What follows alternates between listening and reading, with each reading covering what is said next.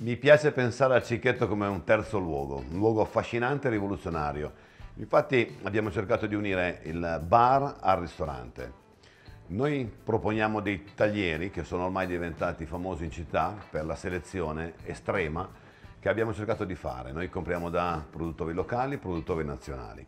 Le nostre stuzzicherie sono fredde e calde, che seguono la stagionalità. D'estate proponiamo piatti più, fre- più freschi e d'inverno proponiamo piatti più caldi.